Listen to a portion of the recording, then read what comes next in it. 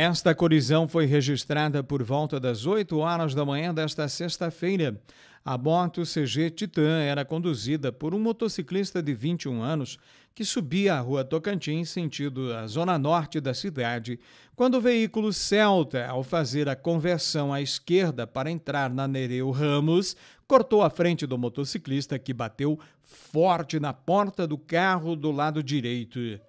Testemunhas teriam dito que o motociclista, no impacto, literalmente voou por cima do veículo, caindo do outro lado. Ele ficou bastante machucado e foi atendido pelo SAMU com suspeita de fratura no braço. Foi conduzido à UPA em Pato Branco sem risco de morte.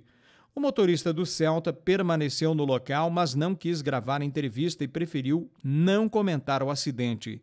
Danos materiais de grande monta nos dois veículos, principalmente na moto, que ficou bastante danificada.